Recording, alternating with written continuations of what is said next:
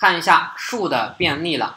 那讲讲数的便利的时候，我们刚才已经跟大家说了，对于这样的一个二维结构来说，对于这样的一个二维结构来说，我们一个是通过广度去进行判断，通过广度层次进行便利吧。还有一种方式就是通过数的深度进行便利了。也就是说，每次便利的时候，我先顺着一条线一直走到头，撞到南墙之后，我再翻回来，再去找另外一条线去撞南墙，这是可以的吧？也就是说，对于这样的二维结构，我要么纵向去便利，要么横向去便利。刚才跟大家说的是不是一个横向的方式去便利的呀？那好，有了这样横向便利的话，我们就先来把横向这个过程给写出来，也就是说的它的层次便利了。它的层次便利了，层次便利也就是广度便利，bread，bread，应该是 bread 吧，b r d a d t h，travel，我们对它进行便利了。这时候来看一下，我要按照广度，按照广度来便利，那实际上我整个代码的执行过程，跟我刚才去做的这个爱的方式思路是一模一样的吧？对吧？所以也就是说，那我在进行广度便利的时候，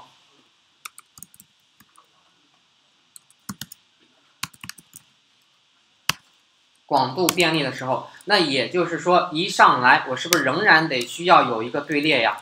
有一个队列去记录一下我真正要去处理的了吧？对吧？所以紧接着一上来，我是不是应该先把我的 root 节点给添加进来？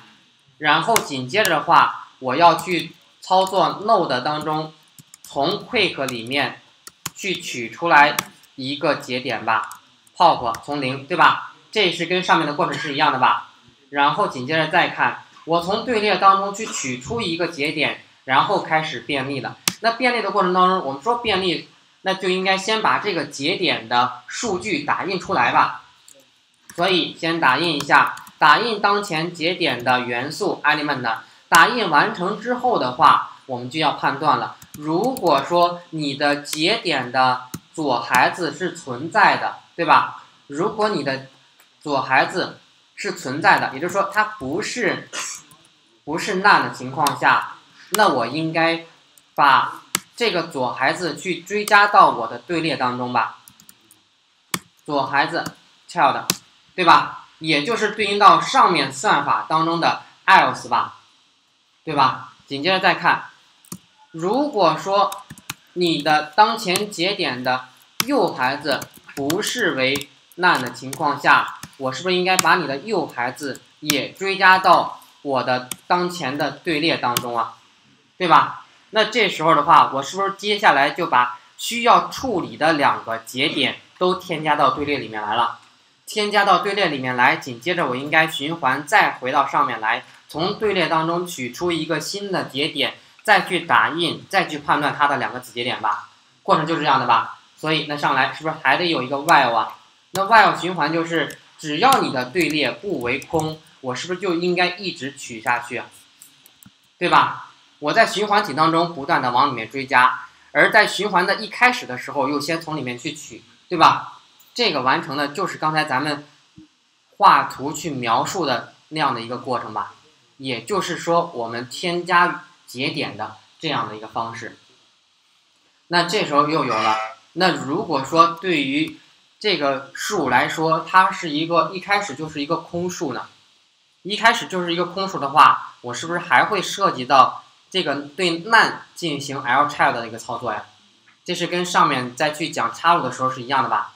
所以还需要进行判断。如果说当前的数这个根节点是难的情况下，那我是不是不需要做任何东西啊？直接返回就可以了吧？好，那这是关于广度便利。好，那广度便利写完之后的话，咱们来看一下，name 等于杠杠 main。好，一上来我先去构造一棵树。树有了之后，紧接着我往树当中去添加节点了吧，对吧？你现在想，我添加节点的顺序是不是最终就是我便利打印出来的这个顺序啊？因为我按照相同的方式去进行的处理的吧，所以，我先去往里面去添加一、二、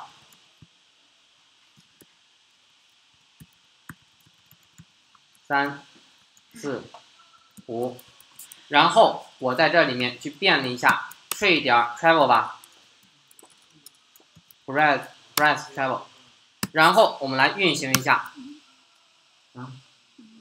看一下，我添加的是一二三四五，那我最终再便利出来的是不是也是一二三四五啊？对吧？那好，那这点大家需要注意的是，我在课件当中的时候，在课件当中的这段当中，是不是有一个 root 呀？这 root 是写多了，这 root 是写多了。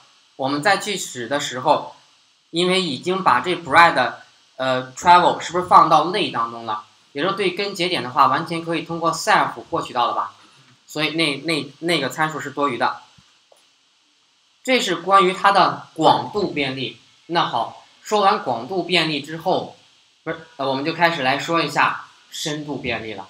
那深度便利这时候实际上就会有三种方式存在，有三种顺序。现在别糊涂，对于数来考的话，会考你的。会考你的这样的一个广呃一个深度便利，也就是说，在对数便利的时候，会有它的三种深度便利的方式，这是大家必须要会的。就包括看一下，你这两段代码不会写没有问题，但是如果说给你一棵树，给你这样的一棵树的话，让你写出它的便利顺序的打印出来的节点序号，那大家一定必须得写得出来。所以这一点是必须要仔细听的。先看一下，那我们现在就来说了，对于数的深度便利来说，它有三种方式。哪种三种方式呢？想一下，对于一个节点来说，看一下，对于这样的一棵树，对于它的一个节点来说，是不是有它的一个根以及它的两个子节点呢，对吧？那这时候就要看了。我对于这样的一棵最小的二叉树来说，三个节点，那我究竟先去取谁？这就决定了深度便利的一个顺序了。如果说我们先来去访问根，然后再访问左，再访问右的话，那这叫做先序便利。先序指的就是先根，永远是根据根来说的。先根，也就是说，先来判断根。再去看左，再去算右，也就是说应该是零一二吧，对吧？好，那紧接着再说了，除了先的话，就应该有中了吧？那中指的也是把根放到中间的位置上面去，那这时候仍然应该先是左中右，也就是说一零二，对吧？那再说后续呢？后续指的就是把根放到最后一个上面来，那应该是。左右根，记住这两个节点来说，永远先是左，再是右。无论你是把根放到哪个位置上面来，永远先是左，再是右。所以对于它来说的话，先序便利就是根左右，中序便利就是左中右，后续便利呢，左右中吧，左右根吧，就是这样的一个特点。看一下。你要记住这个的，先序的话先是根，中序的话把根放到中间，后续的话把根放到最后，对吧？这个顺序是有的吧？那好了，知道这个顺序之后，我们紧接着就来看一下这个数再去执行三种不同顺序的时候，它打印的方式是什么样子的？我们来去数。看一下，这时候要跟上思维了。这一点就数的这个方法是必须要会的啊。先看，我们先来说先序，先序，先序，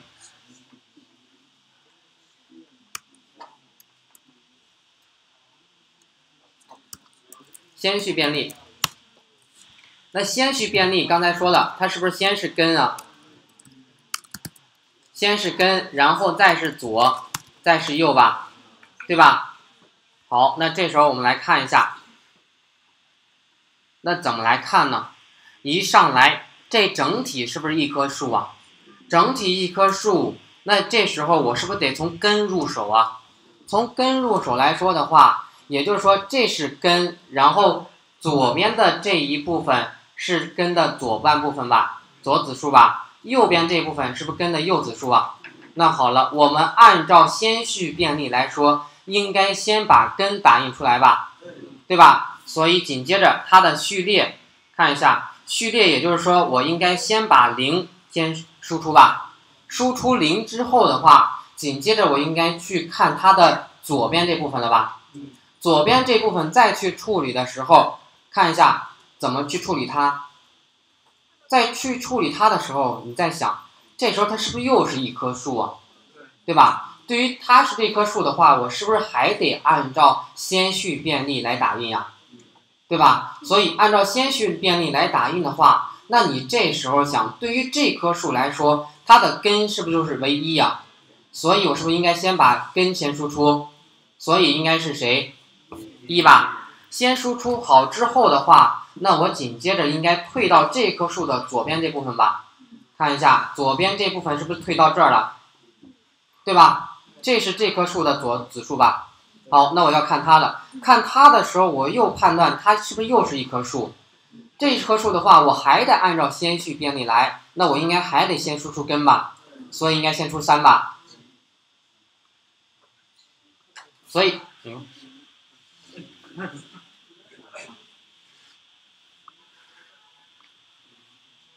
好，改不回来了。嗯，可以。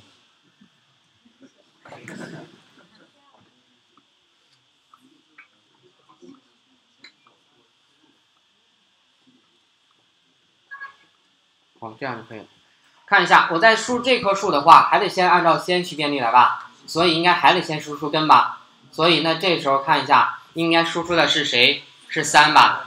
输出三之后。我这时候再看这棵树，对于这棵树来说，三的话，它是不是只左左边的部分不再是树，只有一个节点了？那我是不是可以直接输出了？所以紧接着输出谁？输出七，对吧？然后再输出谁？输出八吧，输出八，对吧？那好，对于这棵树来说，是不是已经处理完了？那也就意味着是说，我对上面的这棵树，它的左边部分是不是处理完了？左边部分处理完了，是该处理右边这部分了吧？好，那这时候看一下，我要给它缩到这部分来了。这时候对它来说，是不是又是一棵树啊？对于一棵树的话，我是不是还得按照先序来？那现在紧接着看，应该输出谁？输出四吧。所以紧接着看一下，先输出四，然后再输出谁？输出九吧。输出九。这时候对于这棵树来说。对于这棵树来说，是不是处理完了？处理完了，也就意味着整棵这棵树的根和左边部分都处理完了吧？那我是不是得处理右边了？处理右边的时候，看一下这棵树来说，它是不是还是一棵树？那我应该还得按照先序来吧？所以应该是二五六，对吧？所以是二五六，对吧？那所以处理完之后，这个序列。就代表对这棵树执行先序便利的一个结果了，所以看一下先序便利零一三七八四九二五六吧，零一三七八四九二五六没问题吧？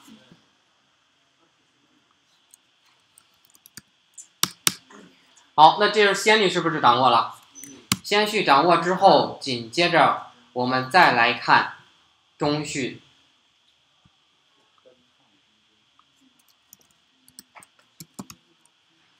中序便利，对吧？中序便利也就意味着，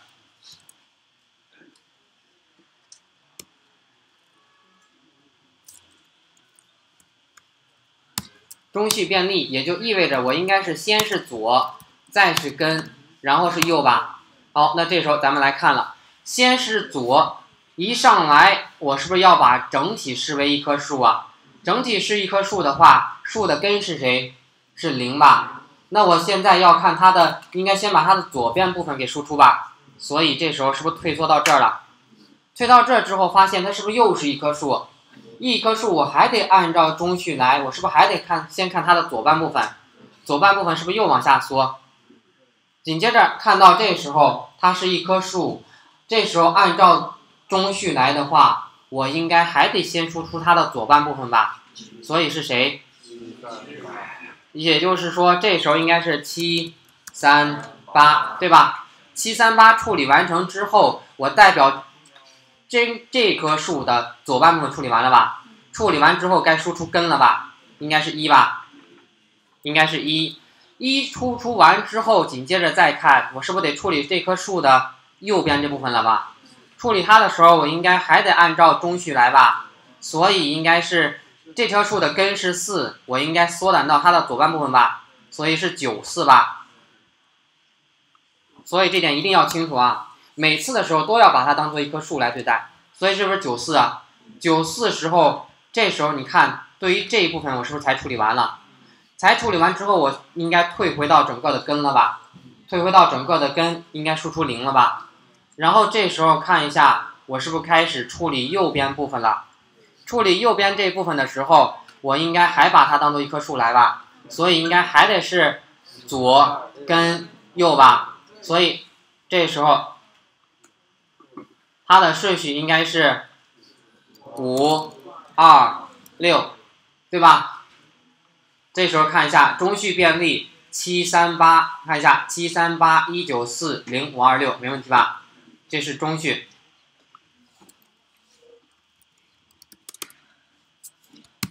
再看最后的这个东西，后续便利，后续便利，那也就意味着应该是左右根吧。好，左右根，这时候咱们来看怎么一个便利过程。一上来把它视为一个整体，紧接着应该先去判断左边吧，所以往回缩，这时候发现又是一棵树吧，那我还得缩。缩到它的左半部分，到这儿了吧？对于这棵树，按照三个节点，按照左右根来说的话，应该是七八三吧。所以七八三没问题吧？然后之后我是不是应该到这棵树的整体概念来了？左半部分处理完，我应该处理右半部分了吧？所以缩到右边来，缩到右边来的话，它的后续应该是谁？九四吧。九四，然后紧接着我应该退回到这棵根吧，是不是一呀？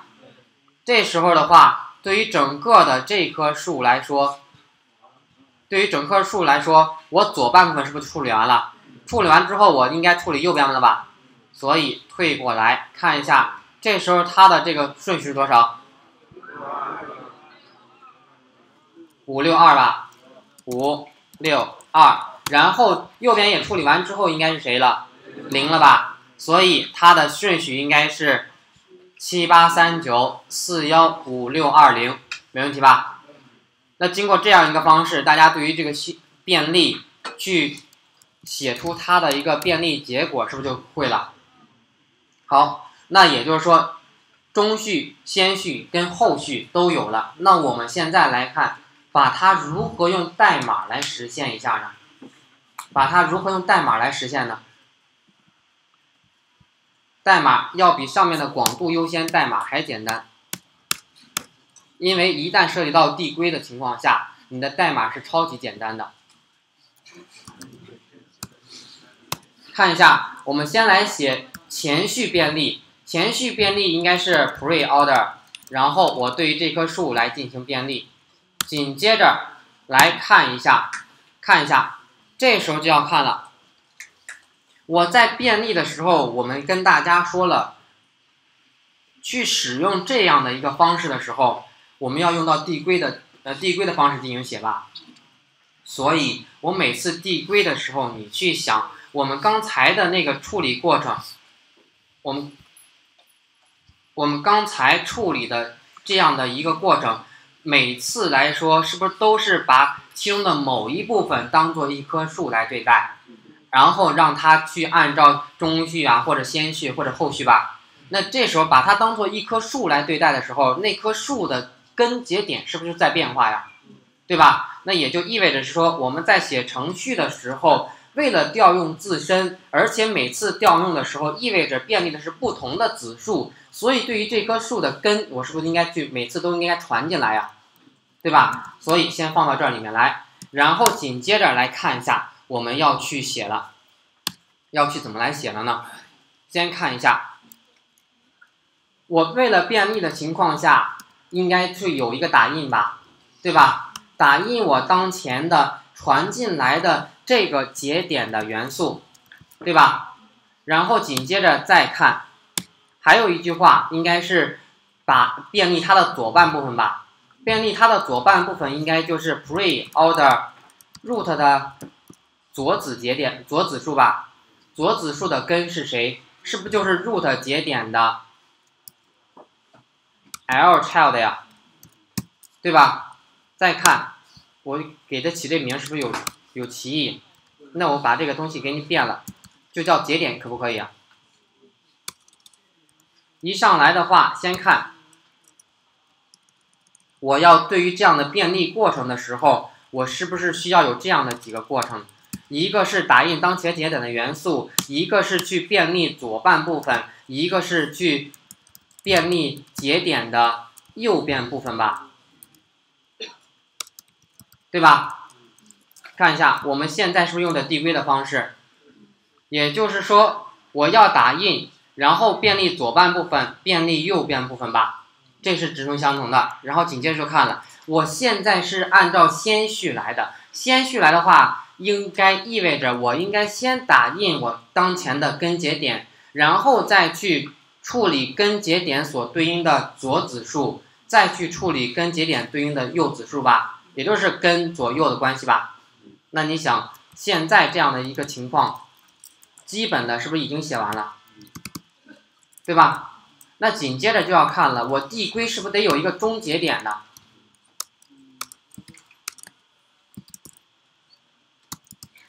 先去便利，我根是不是对于这个递归来说，是不是得有一个终结点呢？那终结点是谁呢？终结点是谁呢？我到我的最终的部分的时候，是它的这个节点再往下的那个左子节点，是不是烂了？对吧？那到这时候我是不是就不能再处处理了？也就意味着，如果你给我传进来的这个节点，它是烂的情况下，如果你给我传回来的这个东西是烂的时候，那我是不是不能再去做任何处理了？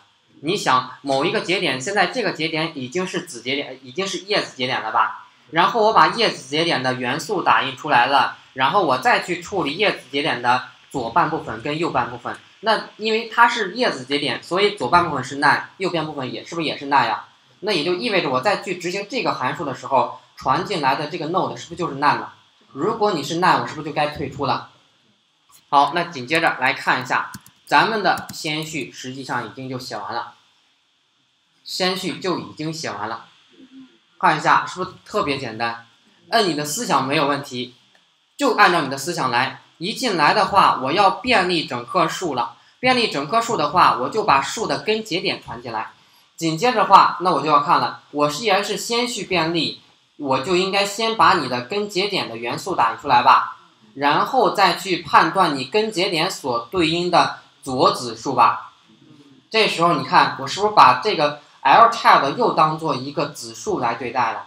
把它当做子数来对待，我是不是就可以利用 pre-order 去进行处理啊？对吧？那我紧接着处理完你左子数，是不是要处处理你的右子数啊？右子数的节点是根节点是谁？是不是就是 node 节点的 r child 呀？我把你这根给你传进来，那你就顺着这个根去找你的右半部分了吧？好，那就是这样的一个过程。我们把它来看一下，层次便利的顺序，也就代表一层一层添加的顺序吧。零一二三四五六七八九。所以我们在这里面添加的时候，添加零一二三四五六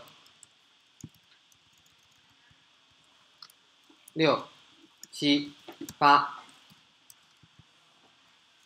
九，对吧？然后紧接着我们再去打印的时候呢，我把换行符给它去掉，上面这个换行符也给它去掉，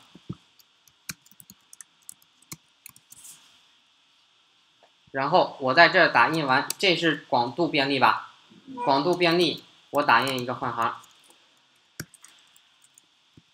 直接加一空格，实际上就可以。然后紧接着我去对数进行先序便利，先序便利的话，我现在你看一下，我是不是得指明这个数的根节点呀？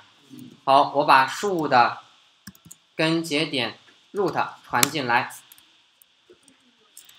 啊，然后。啊，不是 root 吗？这个我是得顺着一棵树的 root 节点作为根才能找到一棵树吧？看一下，紧接着我们去打印的时候，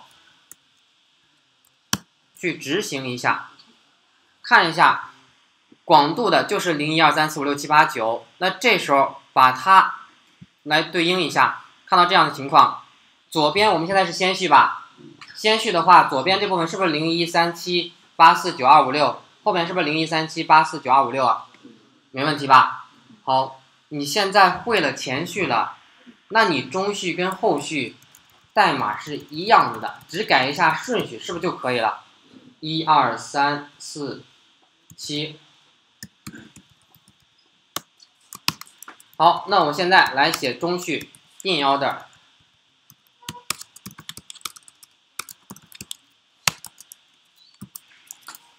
中序有了之后，还是按照这样的吧。前面这个条件是做代表的是递归的终结，这时候只不过是中序的话，我应该先去处理左子树，再打印根，是不是再处理右子树啊？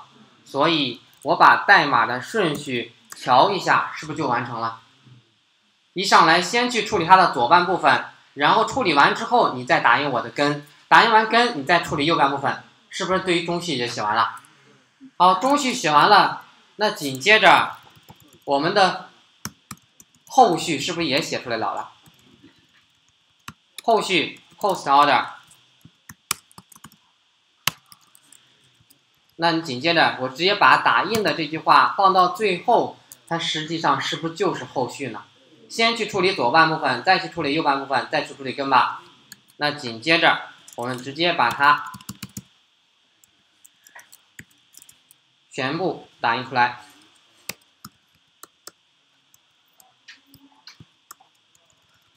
这是中序，然后这是后序。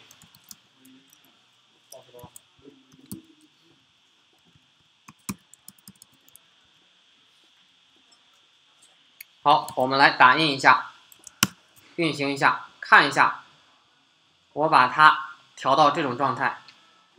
中序后序是不是有问题？问题在哪？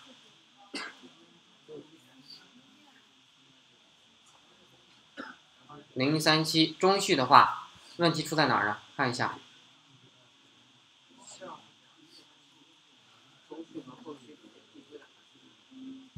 哦，对，我们改的时候递归的时候是不是得调用自身的？看一下，我粘过来这个。没改，这个地方没改。好，调用自身，这时候来看一下，我再来执行，看一下，第一个代表的是层次便利吧？第二个代表的先序，你对比一下，左右是不是能对应得上？对吧？所以对于它的广度便利来说。落实到代码上面，使用递归是不是就几行就能实现了？就代表你的思想上面了。